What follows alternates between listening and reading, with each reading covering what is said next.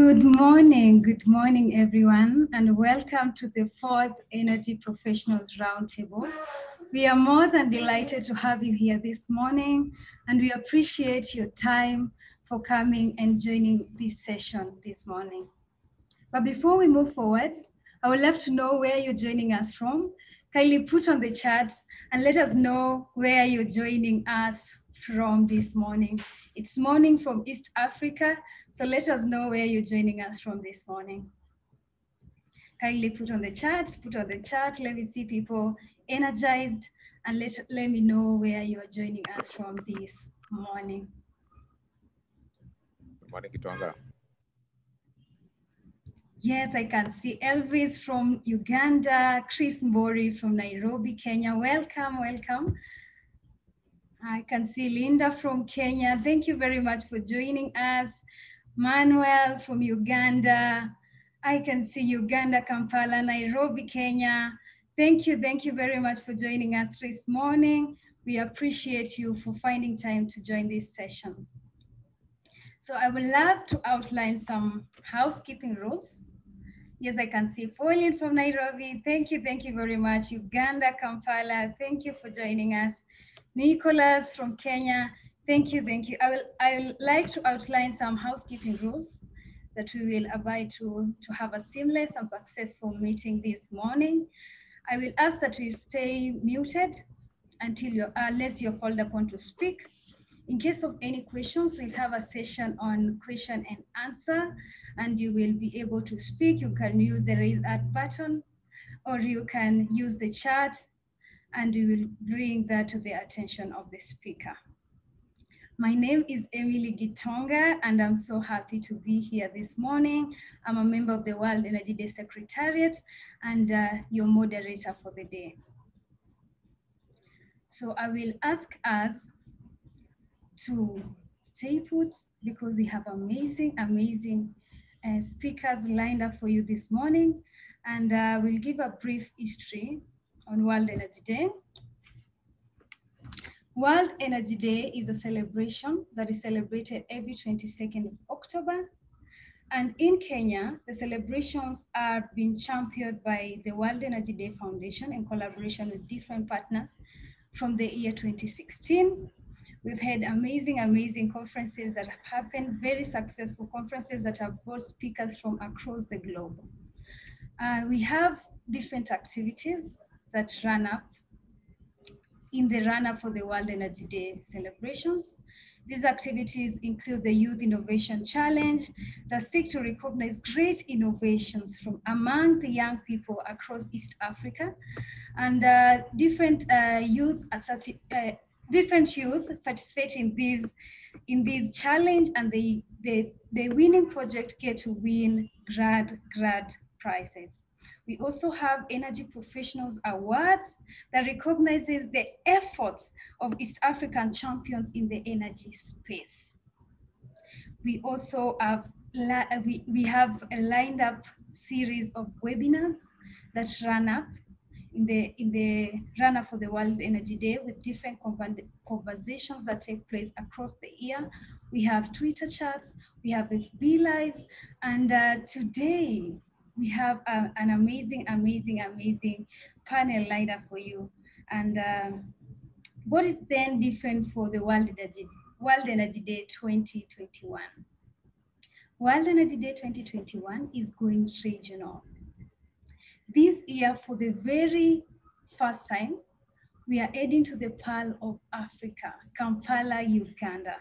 We are hoping that uh, the world will open up and we will have a physical meeting in Kampala, Uganda this year, and we have partners that we have partnered with this year. We have UNREA, that stands for Uganda National Renewable Energy and Energy Efficiency Alliance. We have Aria Finergy also, and uh, we look forward to a great and a great event this year. We recognize our partners in the room, UNREA and, and Aria Finergy. Thank you very much for coming in and having to join us this day. Moving forward to the topic of the day. Our theme this year is on energy sustainability in Africa. Unlocking food sustainability, climate change, and water equation. But our topic for today is on energy policy and regulations. What emerging considerations are there for resilience and sustainability? We have great, great speakers, and I would love to mention why this topic is, is very relevant for us as energy professionals today. Sustainable energy needs needs sustainable policies. And uh, by year 2030, the United Nations hopes that there will be universal access to modern energy. And this can only be achieved by, by having conversations around energy policies, sustainable energy policies, having draft, we as energy professionals being involved in drafting policies that are sustainable for energy sustainability. So I will move on and introduce to you today an amazing speaker. For us, our first speaker today is joining us from Kampala, Uganda. And as I mentioned earlier, we are going, we are going regional this year. So our speaker today, Racheal Nalule, is an energy policy advisor. She's currently working in GIZ Promotion and Renewable Energy and Energy Efficiency Program. She's a qualified environmentalist and holds a master's degree in environment and natural resources with a bias in energy policy from Makerere University. Racheal has more than five years experience in policy work and have helped in coordinating and reviewing of set out strategic documents and policies where she has partnered with the Ministry of Energy and Mineral Development in conducting research studies. Her expertise and experience in matters energy policy makes her the best fit to tackle the topic today. So without further ado, I would love to welcome Racheal to take over the stage. Thank you. Welcome very much. Welcome, Racheal. Take the stage. Um, thank you so much, Emily. And uh, good morning to you all once again. Like uh, she has already mentioned, uh, my name is Racheal Nalule and I work with uh, GIZ PREP. I'll just go straight. Uh, we have our presentation outline as having um, the background. I'll just give a background, um, a small introduction to, the, to that, and then we talk of the scope of the energy sector, the key issues in the sector, the policy framework for Uganda, and our regulatory framework also in the presentation. So for the background, uh, we know that uh, the energy sector is a major contributor to the national development and uh, its linkages to other uh, sectors. Definitely, we, we see the performance of energy also impacts on the performance of other sectors. The other sectors, of course, uh, rely also on energy, like uh, the health sector, education sector, water, and, and, and transport, among others. So uh, energy itself underpins the economic development together with the sustainable uh, development uh, goals and the 2030 SDGs. And I'm glad that, of course, even this meeting or this uh, gathering, the discussions are going to talk about sustainability, definitely, which is also about sustainable uh, development. So the sustainable energy uh, uh, policies can always be associated with the use of energy without necessarily endangering the ability of the future generations to meet uh, their own needs. And for Uganda, our energy policy is uh, recognized by our constitution uh, where the energy policy, eh, not only a constitutional requirement, but also um, for the facilitation of uh, government's major programs like the National Development Plan 3 and the Vision 2040. We now have the, the, the NDP 3 already operational, And uh, for your information, uh, we have shifted from the sector approach to program-based uh, approach. And we have a sustainable energy development program from, from, the, from the Sustainable Energy Development Program as one of the programs earmarked for implementation in our NDP3. Uh, maybe just a brief on the, on the goal of our Sustainable Energy Development Program is, is to meet the energy needs of the country by providing adequate and affordable, clean, and reliable energy for the sustainable socioeconomic growth and, and the development. So uh, that is hinged into uh, that.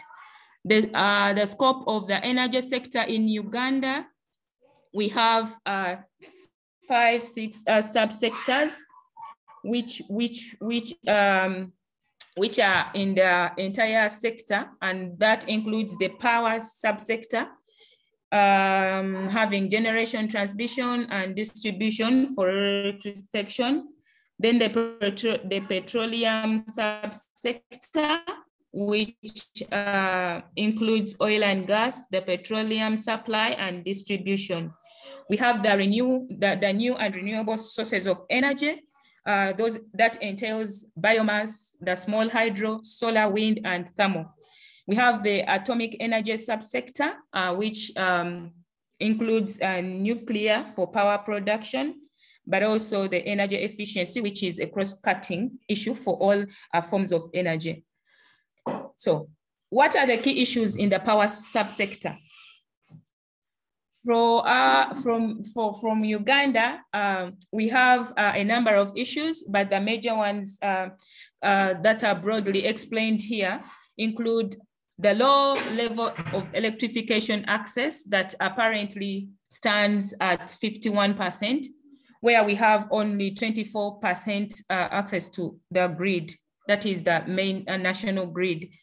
So the sector is also uh, constrained by the transmission and distribution uh, network not being able to absorb the, the, the, the present and planned generated capacity in the medium term. The poor, the poor power reliability, of course, this uh, impacts on the productivity of uh, industrial sector. If power, we have power shortages on and off, definitely the industrial sector gets affected in terms of um, their economic uh, work the uncoordinated planning of projects and uh, um, instances where we have uh, substandard sections of the network affects um, the power subsector and definitely access to the energy. The other issue is uh, the delayed implementation of projects. Sometimes this is um, also as a result of a number of uh, issues, say, for example, maybe uh, procurement processes, the bureaucracy, the funds. Um, if uh, there are no uh, funds or uh, other requirements that are needed to implement the project, the feasibility studies, this delays the implementation of projects. And of course, um, you find that maybe even uh, that leads to um, low levels or even delayed access to the power, to electricity. Difficulty in acquisition of land and way, and wayleaves for the construction of um, infrastructure development. This, um, when we talk of the acquisition of land, so uh, when land is acquired sometimes, um, the compensation processes or procedures can also be an issue which also leads to, which can also be an issue in the sector. The other one, uh, as identified, is the low level of energy efficiency in the utilization of, of energy. So those were those are some of the key issues in the sector that uh, we are faced um, as Uganda. Then I'll go to the our policy framework so what is uh, Uganda's policy framework like? So we, we see that the sector has been already guided by the energy policy of uh, 20, 2002 And uh, the goal of the policy uh, is to meet the energy needs of Uganda population for social and economic development in an environmentally sustainable manner. The policy objectives to that note, one of them is um, to establish the availability, potential, and demand of the various energy resources in the country. At that time, uh, uh, this, uh, this objective, I think, uh, was uh, uh, came as a result of um, the realization that there are a number of energy resources, but their potential had not yet been established. And um, a few studies then needed to be done and find out the potential where uh, government then decided to have this as an objective such that uh, these resources can be, they can be developed. The other objective was to increase access to modern, afford, to, mo to modern, affordable and reliable energy services as a contribution to the poverty eradication. And here we have um, we have uh, programs like for uh, that are promoting rural electrification that came in to increase access uh, third objective is to improve energy governance and administration, stimulate economic development, and lastly, to manage the energy-related environmental impacts. Uh, we also have the renewable energy policy of 2007, whose goal is to increase the use of modern renewable energy from, from that percentage to 61% of their total energy consumption uh, by uh, the year 2017. Of course, uh, when you look at it, this policy is also a little bit old, so there is a need for review onto that.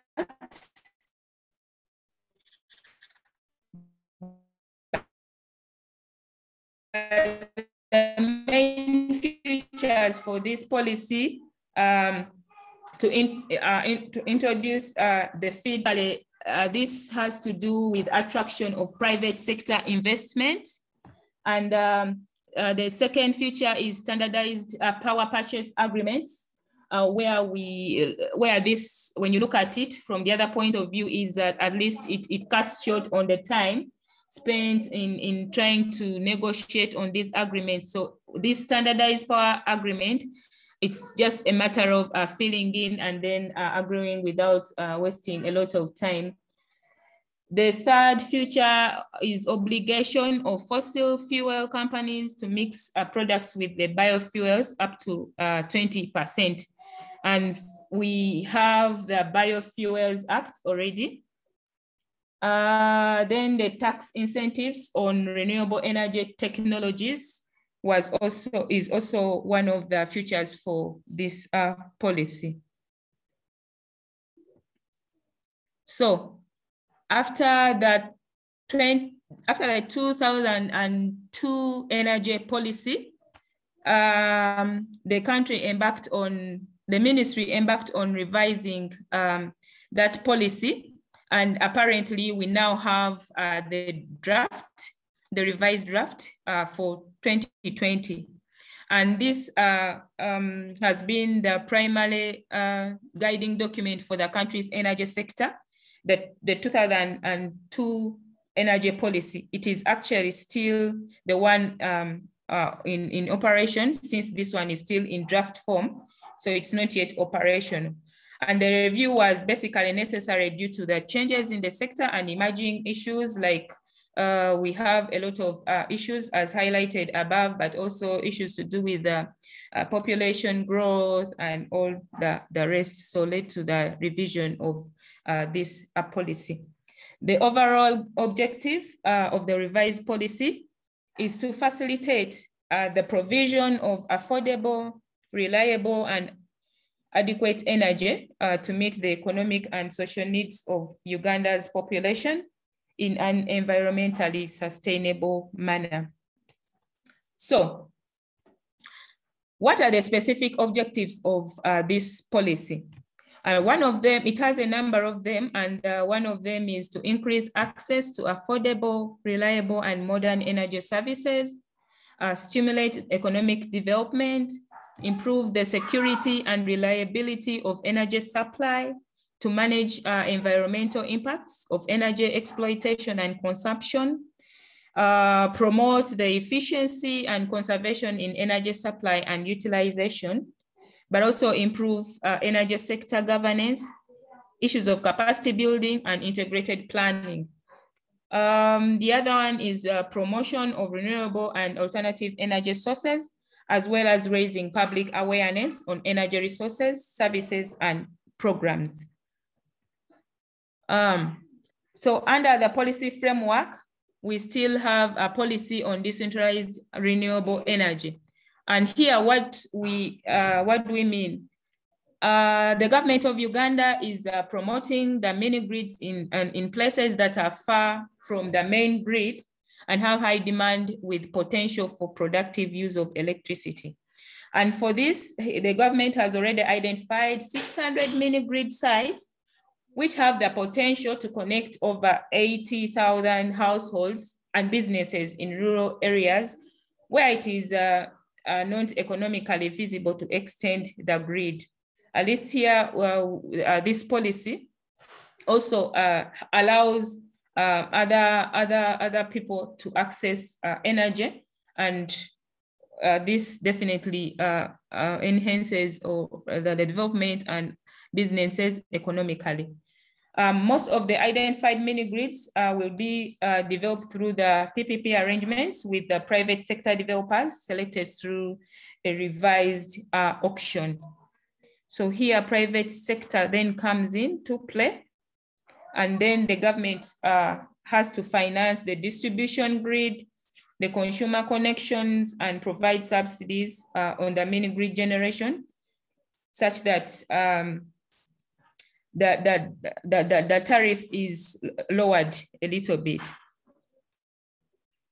To that, uh, we still have the electricity connection policy of 2018 as um, the policy uh, aims at addressing uh, challenges that have hindered uh, access to electricity in the country. So the goal of this policy is to achieve a national coverage to electricity of 60% at least by 2027, if we can achieve that. And it has two major objectives which one of them is uh, increasing the number of connections uh, made annually from the current average uh, 70,000 to 300 uh, to, to 300 connections. And then also increasing electricity demand on the main grid by 500 megawatts uh, by the year 2027. So we still have some years though not so many, to achieve that. Um, so what are the strategies to achieve the, the policy objectives? One of them, uh, what we looked at um, was the subsidizing the connection charges for eligible customers existing within the voltage distribution network. And also undertaking a grid, grid densification and intensification prioritizing the areas to be having the potential for creating demand while ensuring equitable provision of services just uh, across um, the country. The others uh, include the introduction of uh, technical standards and low-cost technologies for wiring and connection and connection purposes but also uh, have in place a mechanism that enables customers uh, pay their contribution to the connection cost over a period of time. Uh, enhancing the capacity of service providers to meet uh, the increased connection targets, materials, uh, capacity building, and of course, institutional strengthening also go hand in hand with uh, that. We have the power sector reform policy of 1999. And this, uh, this, this uh, came out through a wide consultation during those years. And the policy objectives uh, uh, include uh, the increased investment in the power sector, to also increase financial and operational efficiency in the sector, increase uh, access to affordable electricity services, and also improve on the energy governance and administration. And when this policy came into place, it also resulted into the Electricity Act of uh, 1999, and that is part of our regulatory framework.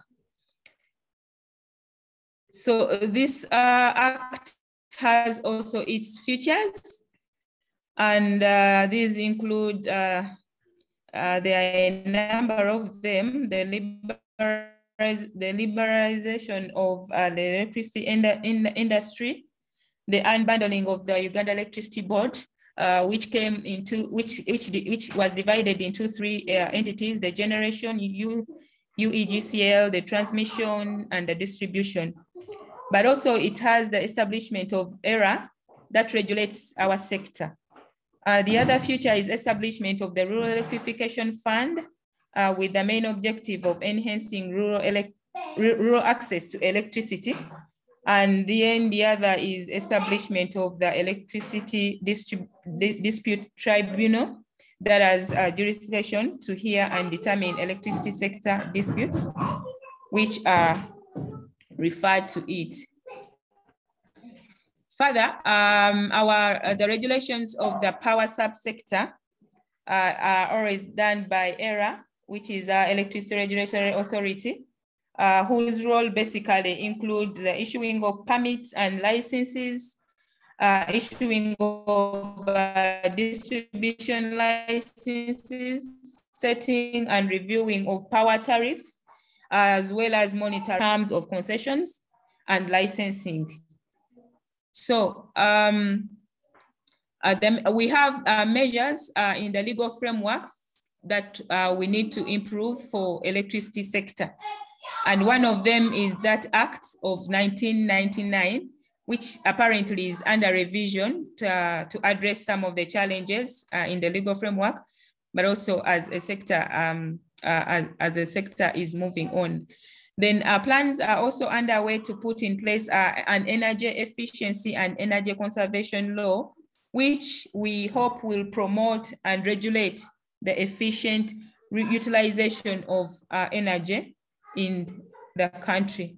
So to that note, I would like to come to the end of the presentation. Uh, thank you so much uh, for listening in. Uh, that is the Ugandan uh, perspective.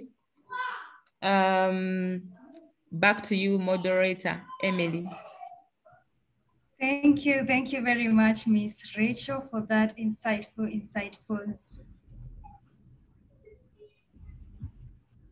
conversation there.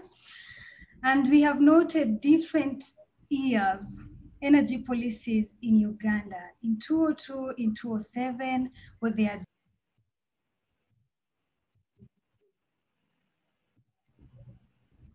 sorry for that. I was saying thank you very much, Racheal Nalule, for that great, great presentation that you shared with us today. We have seen different energy policies in Uganda from the year 2002 the acts that have been there from the year 1999. We have seen uh, different uh, frameworks that we, we have in place for the, to, to achieve the sustainable agenda that we are talking about today. So before we go to the question and uh, question session, I would like to recognize our partner. I can see Julie in the house, Julie from AREA.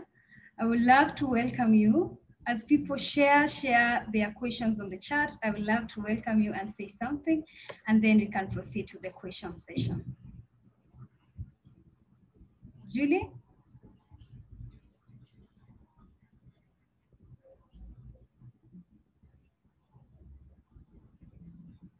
Julie Kusimba, if you can hear me, you can say something, or if she's not uh, still in the room, we can progress. And I will ask Ruth, who is our chat master, to share with us a poll that we will take, and then we will take the questions.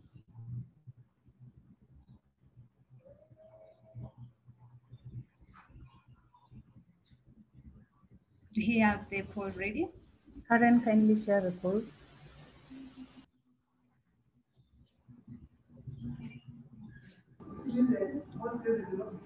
Yeah, I've launched the poll. Okay, we have we have the poll on our screens. Where do the proposed regulations have the biggest impact? Is it government-related bodies, residential energy consumers, industrial or commercial energy com consumers, untitled energy products and services companies? Please just take the poll and let us see what you think about this question. As we do this, kindly put your questions for Ms. Racheal on the chat and we'll get to get her answer those questions for you. We will have two minutes to take the poll.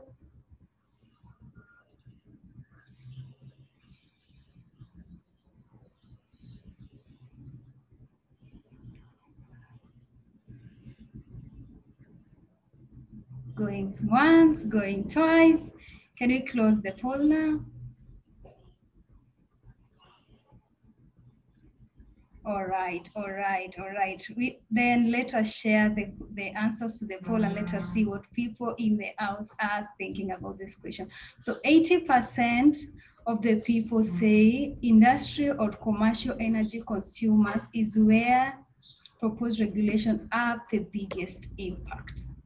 And then we have 37% on residential energy consumers.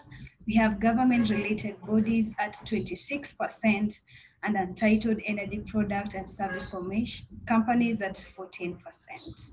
So, okay, we see, so industry and commercial energy consumers has the highest at 80%.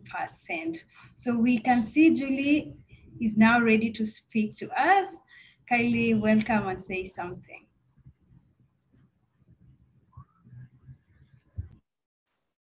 Thank you very much, Emily. Um, I'd like to welcome everyone to our webinar today, and thank you all for joining us. Um, it's a pleasure to partner with UNREA and innovators and have us discuss such um, insightful topics and help us to grow the energy sector. Thank you very much and welcome everyone.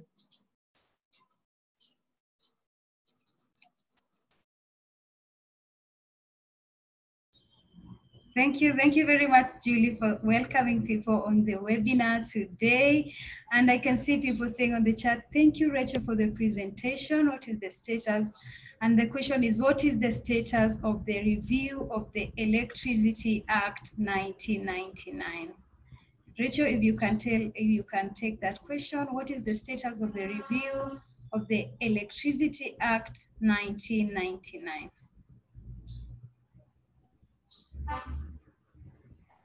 Right, uh, thank you, Emily. Um, the, the, the review is actually ongoing and it has uh, just uh, started, uh, but uh, it's, it's not yet, it is ongoing.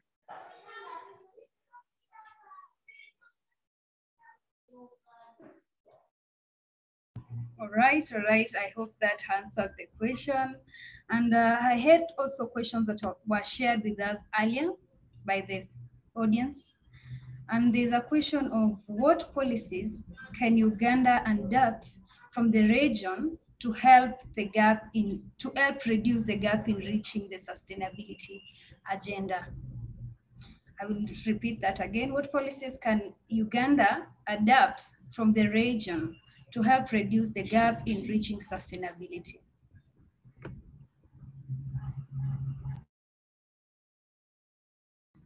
Miss Racheal?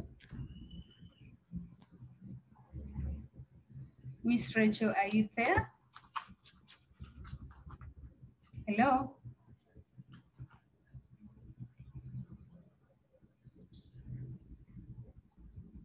All right, as we wait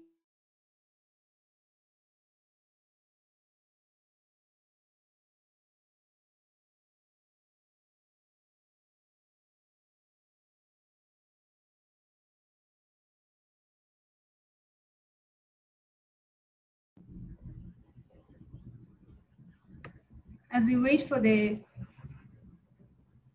for our speaker, Ms. Racheal, to respond to that, I, I was asking what policies can Uganda adapt from the region to help reduce the gap in reaching sustainability? Ms. Racheal?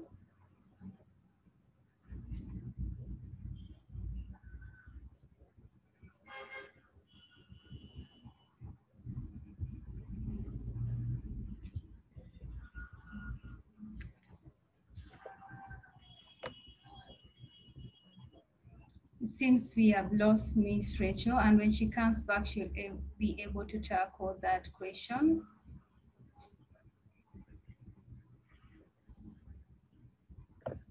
Let me proceed and say that uh, our presentations and our previous webinars are available on our social media. And also, we will also urge you to, uh, to join our WhatsApp broadcast where we'll, you will be able to receive updates from different activities on World Energy Day. I will ask our chat master to put the link on the chat box and we can be able to plug into that. When our speaker is back, she will be able to take the questions. Uh, it seems she has uh, difficulties with uh, audio because I can not be able to get her. And when she's she's back, we will be able to take the questions that you've posed for her on the chat. And so let me just proceed and uh, talk about uh, an energy program that is going on.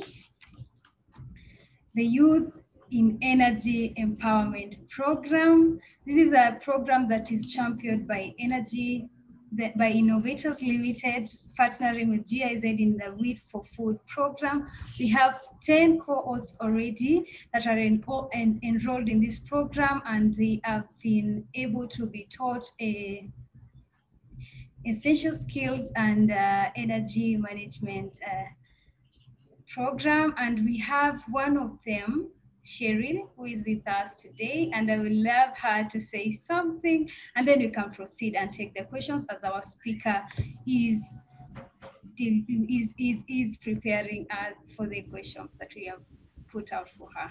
Cheryl, are you in the building? Can we hear you? Yes, she is in the in the internship program, and that's why she's in honor attires. Can you just give us an experience of what the program has been like for you? Okay, hi everyone. As uh, Emily has introduced me, I'm Cheryl Shilibwa, and I'm one of the beneficiaries of the YIP program.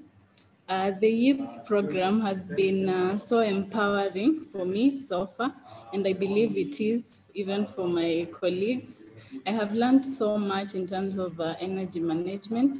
Uh, right now, we are on the ground at uh, different sites. I feel confident after the training we received, and every day has been a learning experience. Uh, we've also had uh, some in-person trainings with uh, innovators in between. Uh, we still get um, the essential skills training. We get support from innovators, and uh, it's been a great experience. I'm, I'm, I'm loving it so far. And uh, even being part of these um, roundtable discussions has built me as a, as a person. I, I, I'm getting knowledge on what is going on in Africa and uh, the direction we are taking towards uh, sustainability in energy. So indeed, it's been quite empowering. Every day I look forward to what lies ahead and I'm loving it. Thank you, Emily. Thank you very much, Sherry, for sharing that. We will proceed and uh, have our second speaker. All the questions that we are, you have put on the chat, I can see them. Our speakers will take these questions after the second speaker has spoken. So our second speaker is Dr. Engineer Fenwicks, and we have a doctor in the building, a doctor of engineering. So our, our speakers for today I will introduce him to you. Fenwicks uh, is um, Senior Energy Efficiency Officer at EPRA, Kenya. He has over 10 years of experience in energy efficiency and renewable energy field. Fenwicks holds a PhD and a master's degree in energy technology. He is the right speaker for us today, and I can go on and on and read his bio and bio. have a full, full, full bio for him here, and he is the right person for us today. He's going to talk to us, and I will welcome Dr. Engineer Fenwick to talk to us today. Welcome, welcome so much, Engineer Nick Fenwick. Okay, thank you, Emily. Uh, maybe by, by, by nodding, you'll uh, tell me if you are, you are getting me clearly. Okay, fine. Uh, good morning, everyone. Uh, uh, um, as she said, I'm Musonye. I work for EPRA. Uh, EPRA is the energy regulator of Kenya. when she was asking me to test my presentation in the morning, I told her I will be doing a lecture. I won't be making a presentation. So today I just wanted us to share some uh, insights, of course, in terms of uh, energy policy and regulations, uh, emerging considerations for resilience and sustainability in the Kenyan perspective. I, I sometimes consider uh, maybe just having a nice talk, a better way of presenting uh, uh, issues. Other times I do slides, of course, when I'm doing presentations, maybe in other areas like in class. So I, I, will take a bit of a, a different approach. the first thing I, will look at and I know my time is 20 minutes. I hope I will uh, adhere to that. Uh, why do we talk about sustainability? Uh, what drives governments to think about sustainability? Why does innovators uh, hold these sessions? Eh? It's because of two issues. Of course, you're talking of energy as a public good. Eh? So every government has a responsibility of ensuring that every Kenyan has access to uh, sustainable energy. Uh, in terms of sustainability, when you talk sustainable energy, we are talking of, of course, uh, uh, are, we call them uh, the, the triangle uh, goals eh, of energy. Uh, the first bit at the tip of the triangle is competitiveness. When you're saying that when you're talking about energy, we're having a triangle this way. So on top is competitiveness. the government, energy as being a public good then the government is supposed to ensure that uh, all the citizens get uh, energy in a competitive way.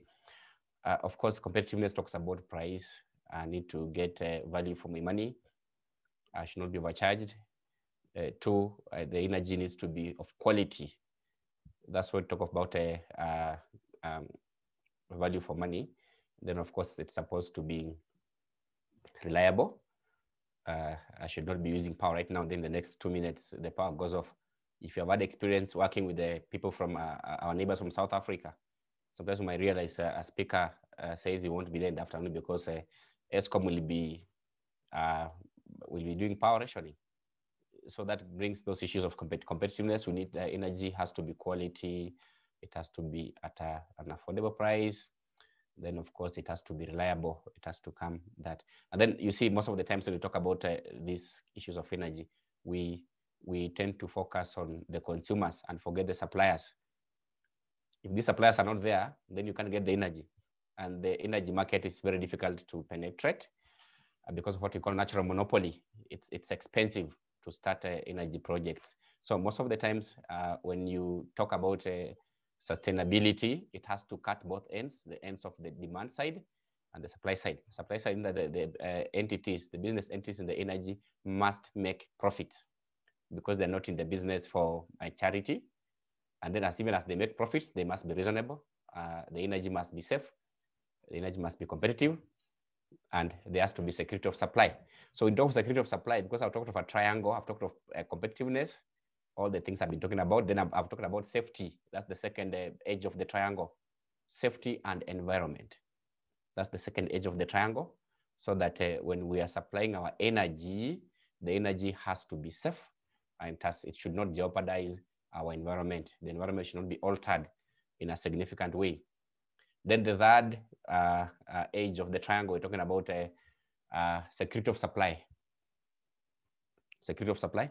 I will still go back to Eskom, our uh, cousin in South Africa, where you find, uh, because of probably poor planning of how much power you're supposed to take on your grid, it's uh, you you at some stage you don't have power uh, because you didn't plan well. That can still happen in terms of petroleum. Huh? When you want to import petroleum and you not uh, done your statistics well, you haven't uh, collected data on consumption uh, and and done very nice projections, you might import half of what is required. So mid-month there is no uh, petroleum, and the next shipment is at at the, the port in the Gulf region so you see the economy stops. And now we understand from these three uh, policy triangles, uh, the, the, three uh, policy goals, or the, the, the three, the, the, triangle goal, from there, you understand why the government has to come in with policies and regulations. Although, of course, I, I, wouldn't want to fault uh, the, the title when you talk about policy and regulations, but a regulation is a child of a policy. So when you talk of a policy, regulations are instruments of implementing policies. Eh? The same way we also have acts, we have standards, uh, all those are instruments now we use to implement policy. So where, um, as the theme of this uh, discussion today, of course, you now to, have to look at the way policy and the uh, attendant uh, policy tools uh, assist in ensuring that we have competitiveness in the energy field, that we have security of supply in the energy field, that we have safety and environmental considerations uh, being in the energy field. So uh, resilience is built around these three issues actually, competitiveness, security of supply, safe, safety, and environment. If you don't meet all these three goals, eh, and of course need to do perfect balance, then uh, uh, the, the, policy uh, sometimes becomes faulty, so it has to be changed. Uh, so in Kenya, uh, when, when, you're looking at policies, uh, the question is how do you implement policy? Uh, what are the tools that you use to implement policy? and of course, there, there are three uh, approaches we use to policy in Kenya and all over the world. The, the, first tool is we give them mnemonics. You, you, the first tool is sermons, a sermon, those who go to church. You see the pastor giving sermons on the sermon on the mountain if you, you read the Bible. So uh, th that tool is also useful in the energy sector where we use uh, sermons or tambourines. A tambourine is this thing people play in church. It's, it's a tambourine. So if you want to enhance uh, uh, sustainability, the energy policies in the country provide for that. Uh, like you see right now, we're talking in this roundtable meeting. It's part of sermons, eh? where you're talking to people just to understand issues. You're not using any threat. You're not using any stick and you're not using any carrots. Like you're not telling them, do this, I'll pay you this. So that's a sermon. And it's one of the ways, of course, you approach policies uh, in, in, the world, eh? not necessarily in Kenya, but all over. So when you're making policy instruments, that has to be part of it. Uh, you hinge it somewhere. If you read any policy tool, you'll see it there. Uh, uh if you come to EPRA and see the way we do our things, you'll find we, we, we list, we line lots of workshops around the countries, eh? around the country. It's not that we're going to sell our name there we are going, we're now uh, using the tambourine uh, section. And of course, you have the sticks, sticks, the ones you use to whip a horse, uh, jail terms, fines, and everything. Then we have carrots. So we have carrots, you have sticks, you have tambourines, those three. Any policy instrument must always adhere to those three. It's either addressing, you know, uh, it's addressing any of those three. It's either saying how you're going to get the carrots or how they're going to punish you if you don't meet certain uh, regulations or how they're going to uh, try to uh, pro proliferate the energy, sustainable energy knowledge. So in, in Kenya, I will uh, I will now highlight some of the things we use, and most of these things are sticks, eh? uh, carrots most of the times. Energy sector is uh, rarely known for uh, being as tough as a KRA, so that's why it's easy even for our partners here, innovators, to look for us BPR and say we have a meeting, come. I'm not sure if they can call KRA to their meeting, eh? because KRA will start counting the number of people who attended and start thinking they are paid. So you see, most of the instruments we use uh, here are carrots than sticks. Uh, I, will go straight, and I'm not going to be specific on any specific technology, but I'll look at the Energy Act as a, a, a, a policy instrument. Now, from the Energy Act, you make regulations. Eh? So the Energy Act of 2019 is used to enhance or to implement the aspirations of the energy policy of 2018 and the energy policy of 2004. So uh, it, it depends actually uh, how you look at it. Uh, sometimes you'll be told the energy policy of 2018 is no longer is not operational, but it's there in the website, so you can still uh, uh, see it. Then of course there's the early energy policy of uh, 2004. But from these policies, you make acts, an energy act, which tries to uh, elaborate further on the aspirations of the policy.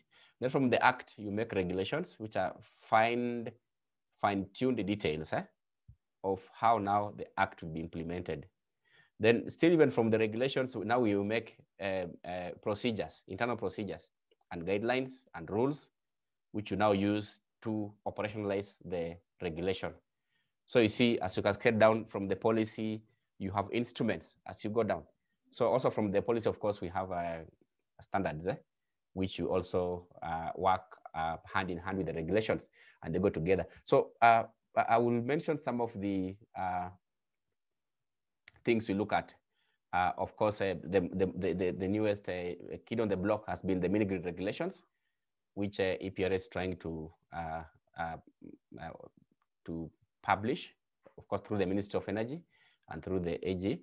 So uh, these regulations, of course, uh, there, there, was a time uh, mini grids became a, a viable solution to underserved areas in this country where there are no there is no grid.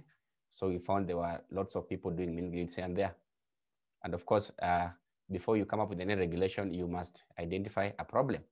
So a potential problem was identified eh, that uh, there could be issues with the uh, mini grids in the future. One is because Kenya Power will come there at, some stage, and uh, normally the grid power is cheaper than mini grid power.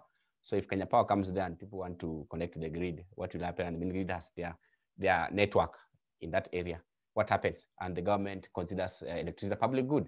So these regulations will be trying to uh, sort out those issues of what happens when the grid comes there, uh, how will people be getting this, uh, the clearances and everything. As of now, we just have guidelines which we use for mini grids, but these regulations are going to be of use.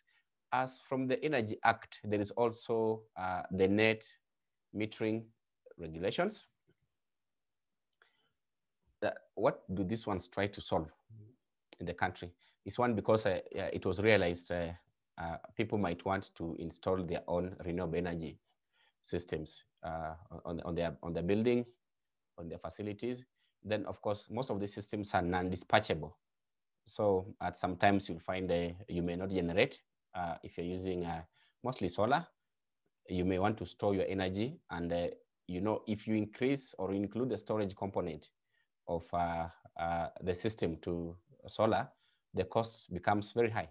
So the concept of net metering is there to assist in that con con context that I, I, put, I, I, have my own facility I have my renewable energy source, uh, mostly non-dispatchable, then I can dispatch uh, the excess uh, to the grid eh, as a form of uh, storage.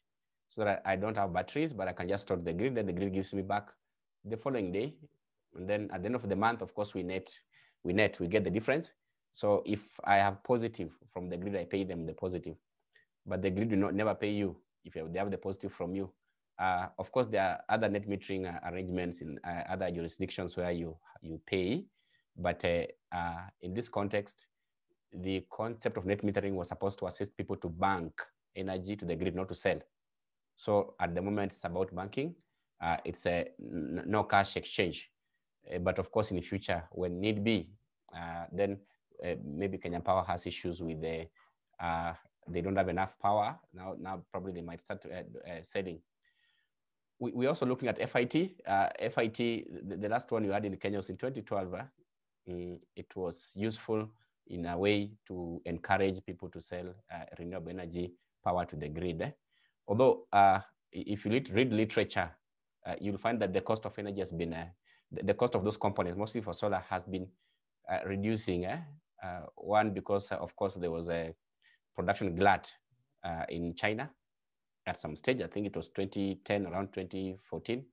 uh, because Germany had uh, a lot of demand for those panels. So that glut came there and the, the, the, the, the cost of uh, panels has been going low with the time. Eh? So at some stage, uh, the FIT uh, rates have to be, of course, revised because as, as, as it is now, uh, they, they, are they are looking at it in terms of the 2012 thinking, eh?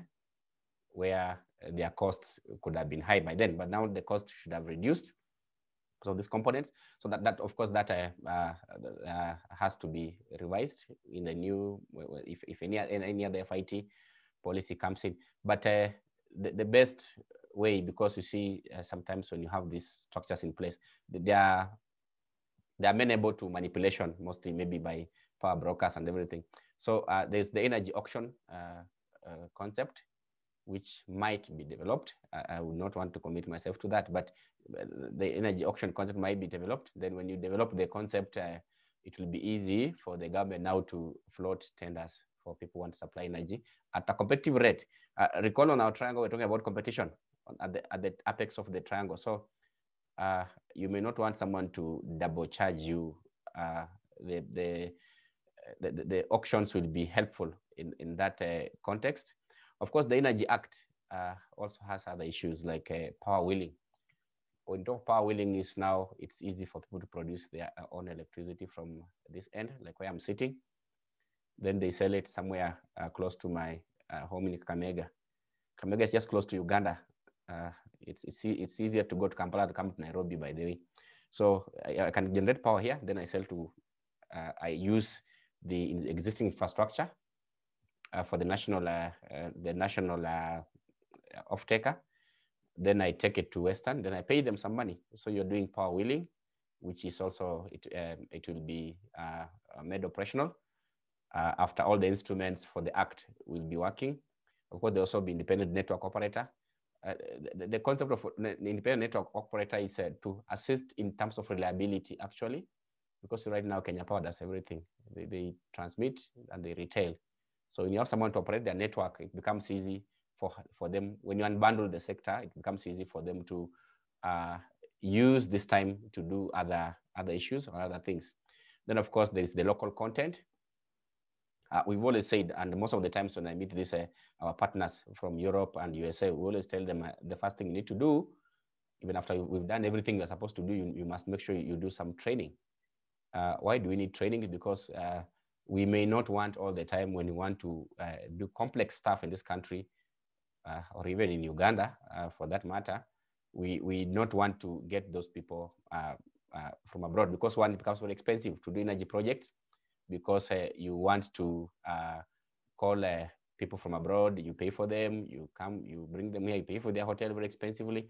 So there is a local content requirements in the Energy Act, which says that before you install or start any business in Kenya for energy, or even those projects, there has to be a specific percentage of the locals in that project, are not just people uh, we call watu wa mkono, uh, the manual people. No, but uh, there will be management, this percentage, mid-level management, this percentage, then of course the casual laborer, this percentage. So uh, that has to be uh, adhered to, and we'll, we'll make local content regulations for that eh, to be a bit specific uh, when we started, I said uh, most of the times when we have a problem, uh, we, we, when we, you have an act, you must have a regulation. So you see, like the act talks about local content, but there are no regulations say specifically how that's going to be done. So we want to make regulations now to say who does what and when, and how do you do it. That's when what, what will be having local content. I will talk about my pet subject, that is uh, ESCOs, Energy Service Companies uh, because we've been uh, talking about uh, renewable energy, uh, we have forgotten energy efficiency, which is uh, an important thing. That's the springboard. springboard. that's the springboard that innovators came into the energy field because of energy efficiency.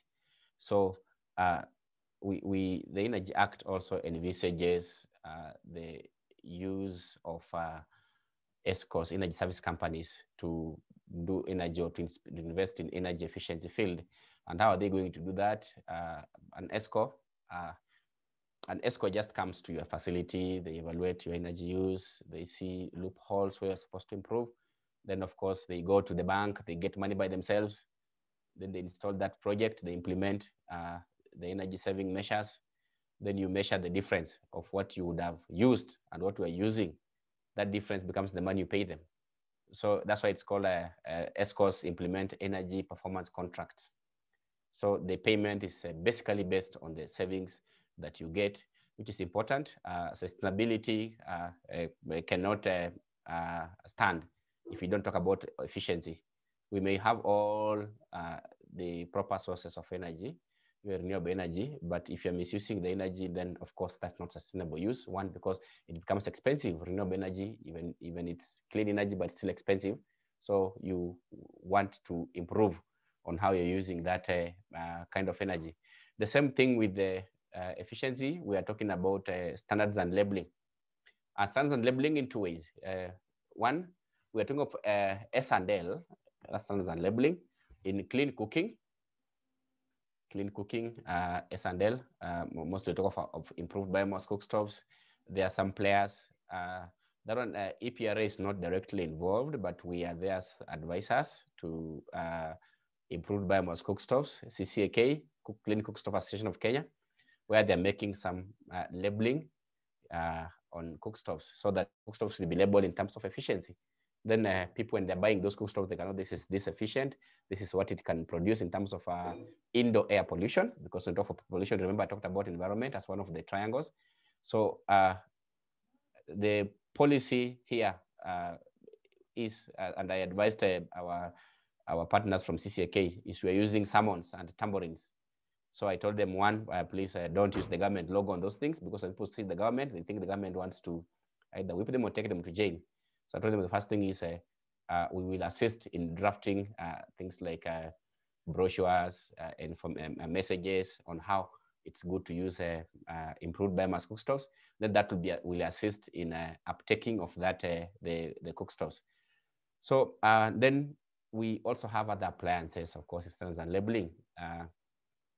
we had a regulation called the Energy Appliances Energy uh, Performance and Labeling Regulations of 20, 2016 uh, these regulations uh, regulate, uh, if such a sentence is allowed, the regulations regulate the importation of uh, uh, specific appliances. In terms of, uh, we talk of refrigeration, we are talking about motors, we're talking about lights. that's a, a, a, double capped fluorescent lamps and compact fluorescent lamps we are talking of air conditioners and we're talking about ballasts for lights. Those are six appliances. So we use those, uh, we regulate those appliances in terms of they are supposed to, uh, they are supposed to uh, actually improve. We talk about appliances to improve the performance, energy performance of the, uh, the appliances. So once they are improved, uh, of course, someone has to go to the lab to test the appliances. After testing the appliances, uh, they should pass the minimum energy performance standards that have been put there. Once they pass the standards, then they are brought to uh, EPRA. When they are brought to EPRA, then uh, EPRA gives them the label. So if you go to uh, buy a fridge and you see that uh, label from EPRA, that's from standards and labeling uh, uh, program, which goes into sustainability. So what's the way forward? Of course, as, as what are the future considerations? one is ESCOs, we are going into ESCOs. That's the new field we, we need to look at. I know Innovators has been doing some training. Uh, I saw there was a topic on ESCOs. We, we're going into that direction eh, where because uh, there's a problem with investment, probably there, there's no fund or the facilities, the players in the field do not have the expertise and the conviction to invest in energy efficiency.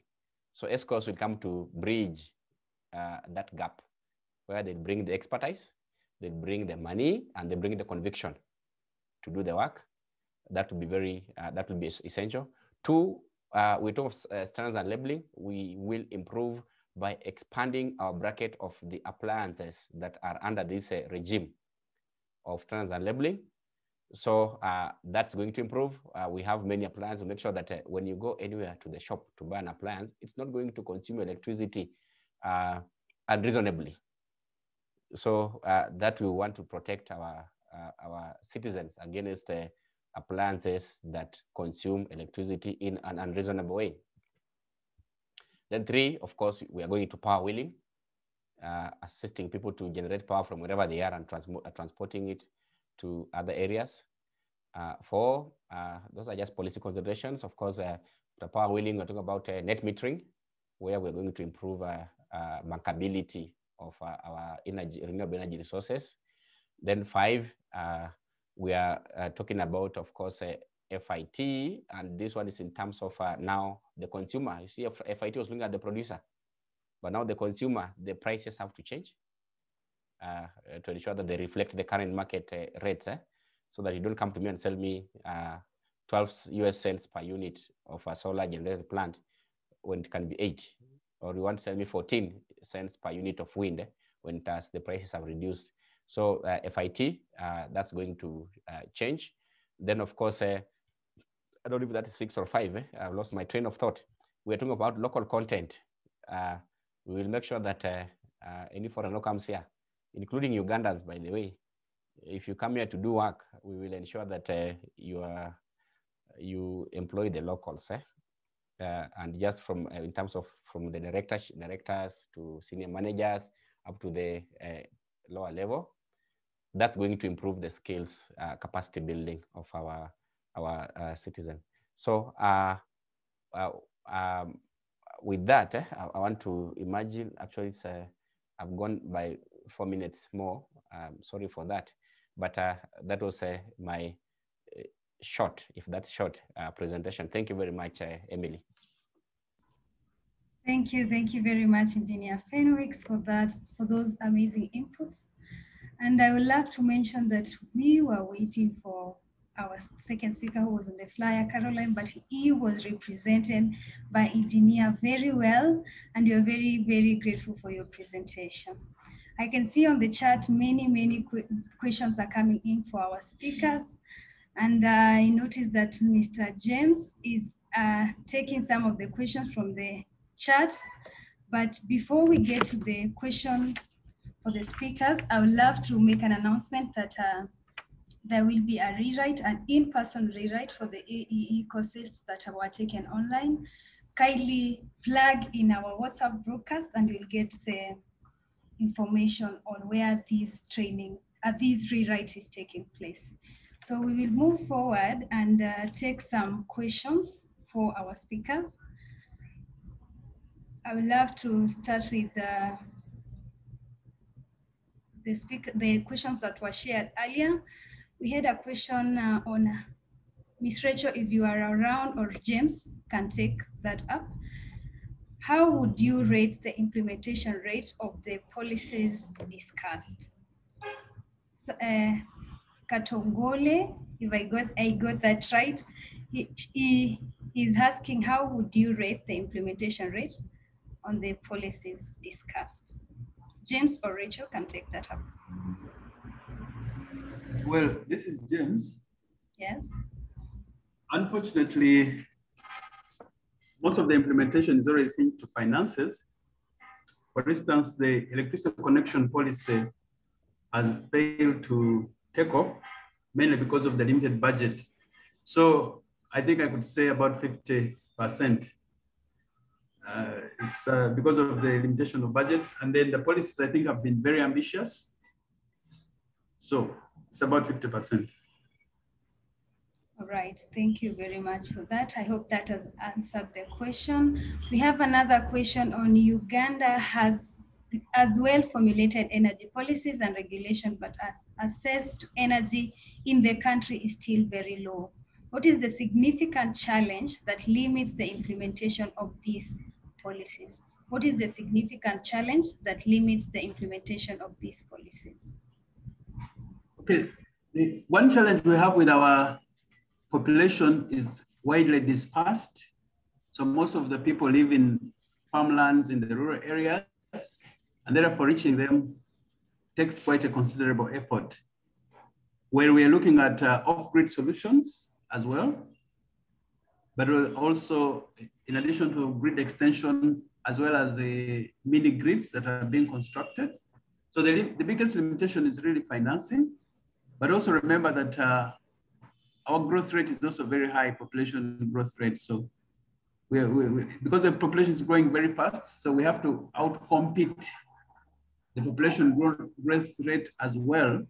And that's why a lot of resources have to be now injected into the country, I mean, into the, into the sector.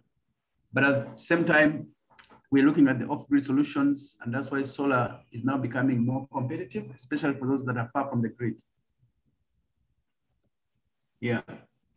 All right, thank you very much, James. And since you've mentioned the issue on finances, there's someone, Geoffrey Nyasimi is asking, any policy frameworks available in Uganda to attract, to attract climate funds to, to be invested in Uganda's energy sector? Yes, we do have the National Climate Change Policy of 2015 that has to do with the, issues of climate change. And this also there is the, the intended national determined contribution where targets have been set to reduce emissions by to about 20, 22%, by 22%. So that is um, also in place that climate funds are also being attracted and they are complementing government resources as well as, as well as private sector financing. Right, thank you very much. And uh, maybe to, to pose some questions for Engineer Fenwick. I love that he has mentioned that uh, for sustainability, we need to go all the way on energy efficiency, and he has mentioned the ESCOs. I would love us maybe to tell us what will these ESCOs benefit the Kenyan energy, uh, energy sector? What do you think are the benefits that will come with this?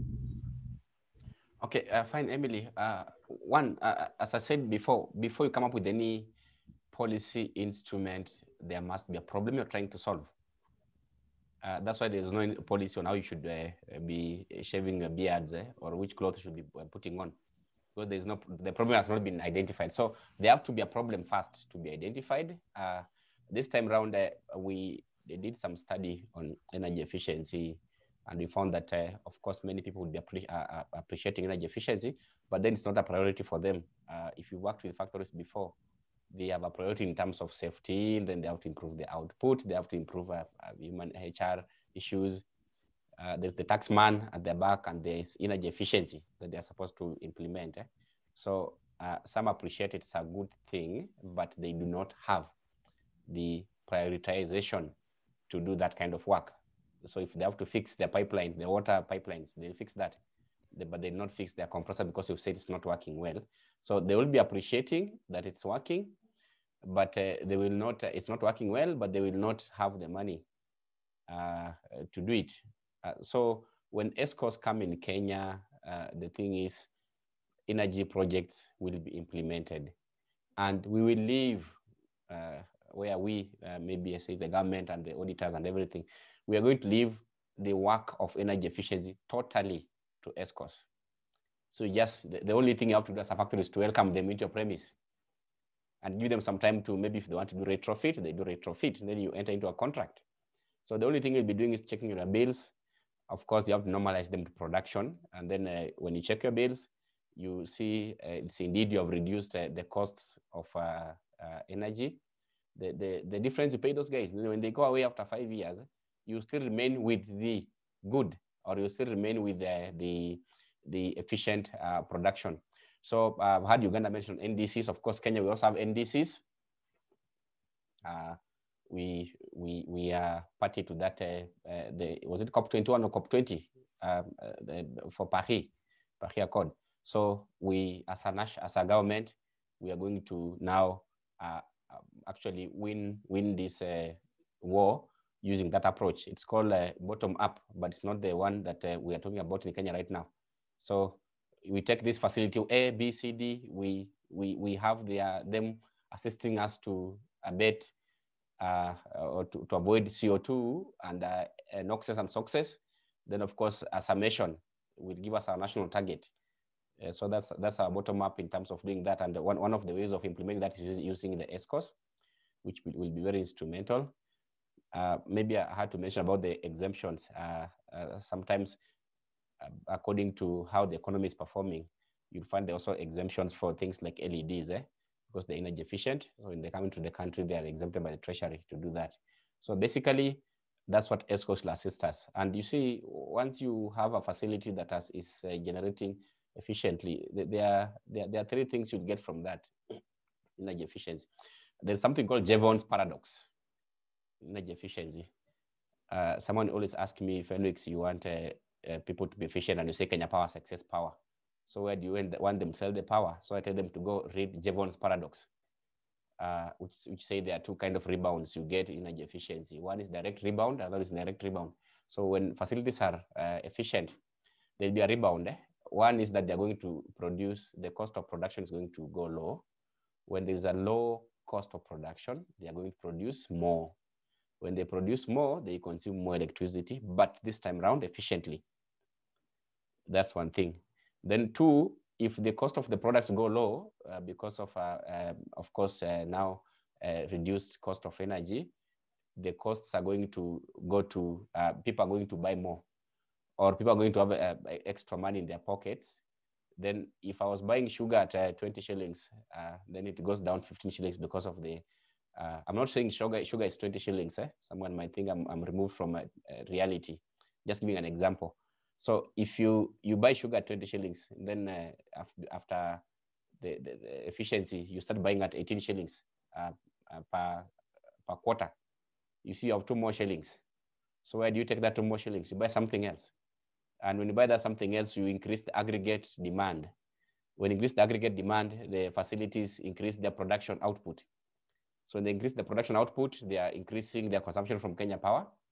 That's one thing. Then they're increasing they will employ an extra person to uh, to do that work for them, eh? and the supply chain is going to increase. So you see, you see the, the effects a bit big. So that's what we call a Jevons paradox, the importance of uh, energy efficiency. Thank you. Thank you. Thank you very much, engineer, for conclusively answering that question. And uh, we have another question for you. Someone is saying we have experienced serious power interruptions here in Kenya due to grid issues what are the policy, what is the policy being developed to achieve a smart grid? Okay, fine. Uh, of course, uh, uh, because the Kenya Power is an independent entity, they, they, do their own stuff as much as the, the, the minister gives them some policies eh, in terms of uh, uh, what they should do.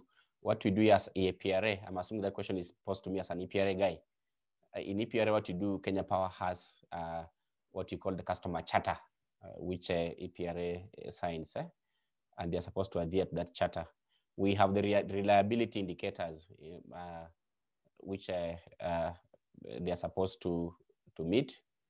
Uh, of course, uh, those indicators is in terms of blackout. So there's a blackout, how long do they take to restore the, the, the, the blackout? It's called CAIDI, SAIFI, MAIFI, and all that.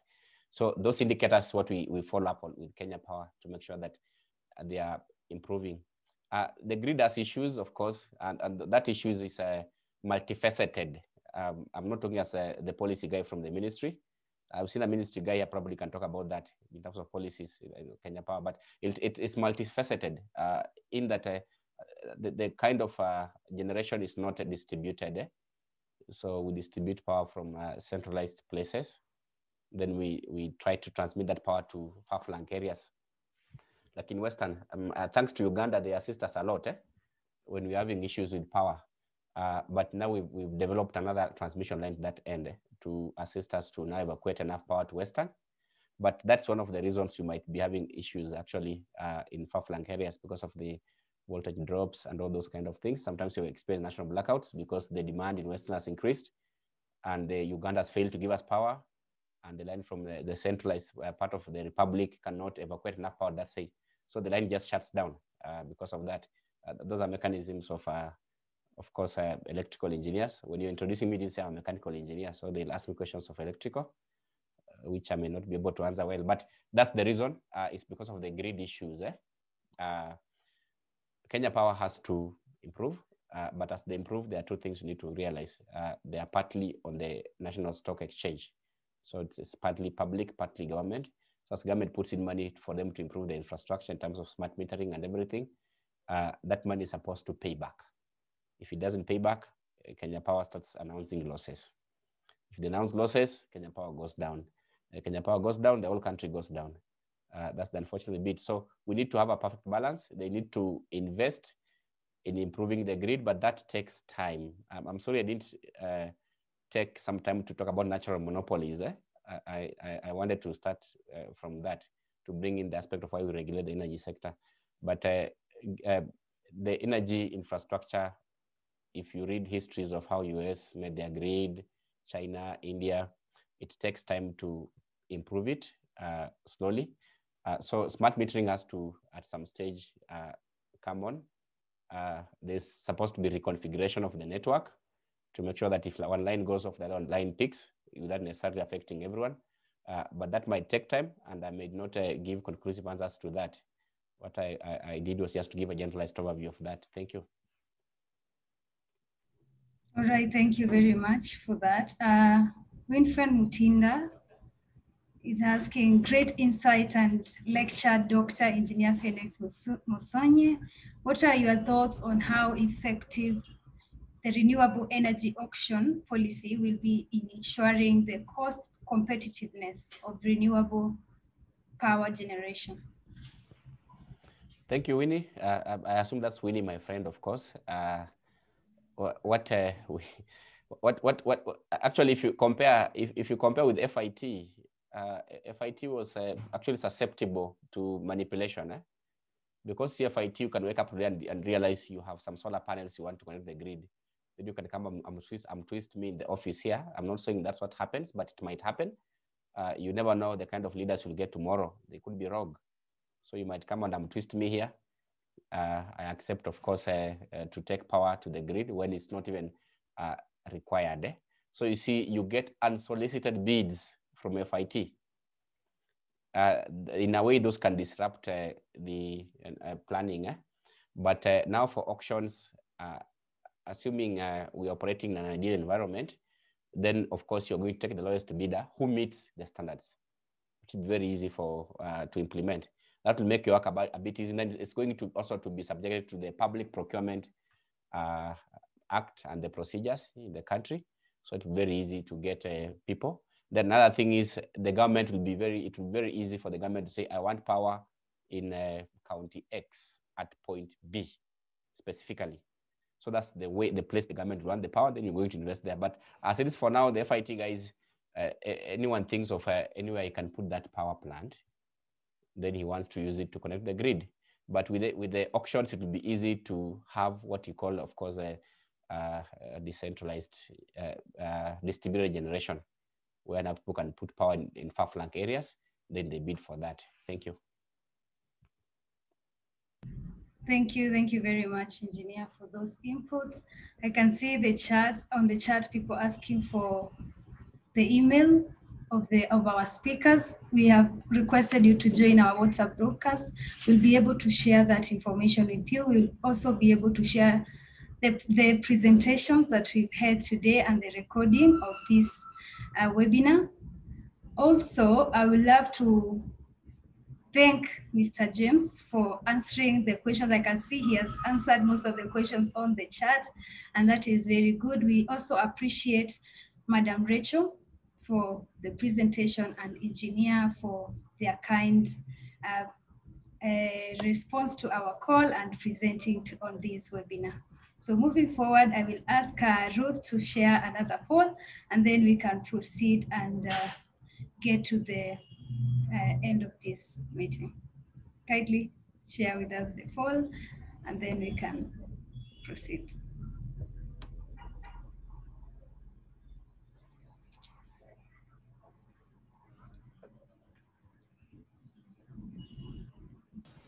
Karen, kindly share the poll.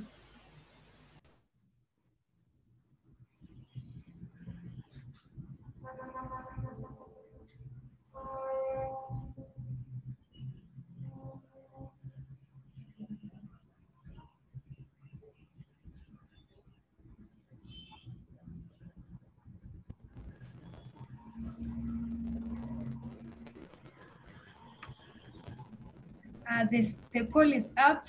Which areas of implementation do you foresee shortcomings and what will hinder market adoption? Is it consumer awareness, lobbying, enforcement, or financial investment? Let us take just three minutes to take this poll and then we can proceed to the next item of the meeting.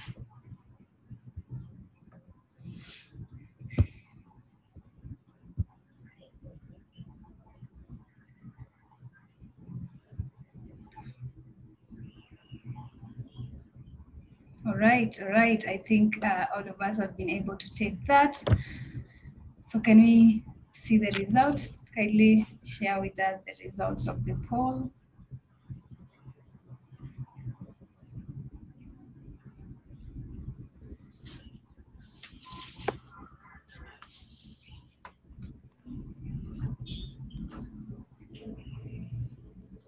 Yes, I can see financial investment has the IS at 66%, enforcement at uh, 41%. I can see consumer awareness at 28%, lobbying at 22%.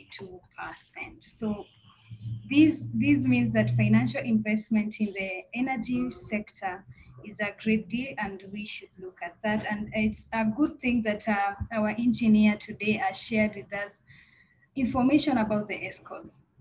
And just to mention that um, in our next webinar, we have a topic on the ESCOs, and uh, I would love us to plug in, as I've mentioned in our WhatsApp broadcast, and we'll be able to get all this information about that. We can put down the Moving forward, I would love to announce that uh, we at the, the World Energy Day Secretariat are planning to have a successful and amazing conference in Kampala this year if the world open, opens up. We have great, great speakers lined up for you.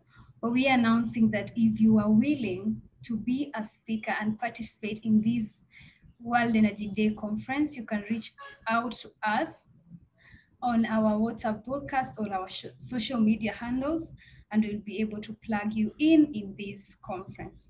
We're also calling for sponsors. If you're willing to sponsor and partner with us in the World Energy Day conference this year, we welcome you to join us and make this event a success. And then I will love to call upon Linda Manyala and talk to us a little bit about uh, the ESCOs and then we can wrap it up. Linda Manyala, kindly welcome. Good morning. Thank you, Emily, for inviting me to speak shortly about ESCOs. I think I won't go so into it because uh, Engineer Fenwicks already mentioned so much about it. And uh, yeah, we, we as innovators are currently conducting a project uh, that involves deployment of ESCOs in Kenya. And we will be addressing the barriers to improving energy and water efficiency in Kenya and East Africa, just by increasing capacity both in the demand and the supply chain, and to be able to develop and implement more projects, organizations to be able to save their energy costs and reduce carbon emissions. So we will be having conversations around this uh, this coming August. So I have seen on the chat a few people asking about ESCOs and uh, how they can be involved, like uh, Kofi or say a, a J. I hope I've said that right. we will be having these conversations in August, so kindly look out for that and share it with your networks. In, in our social media platforms, we'll be able to, to inform you on when this will be held.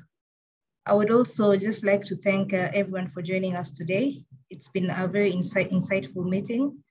And uh, we do see that regulations and policies are very important in the energy sector. And I'm hoping that more energy professionals will be able to tune in and uh, be involved in the development of, of policies in, in their countries. So I would like to thank our speakers for today, uh, starting with Dr. Engineer Fen Fenwicks Musonye uh, for the amazing insights. Uh, I would like to thank uh, our other speaker, Racheal Nalule. Thank you so much for taking your time to speak to us today. I also want to thank our partners, uh, including Aria Finergy. Thank you so much for your efforts towards uh, the World Energy Day activities. and uh, also UNREA, which is a Uganda National Renewable Energy and, and, and Energy Efficiency Alliance, and also EPRA for always uh, coming coming through for us when we need uh, to speak on, on, on topics that matter in the energy sector.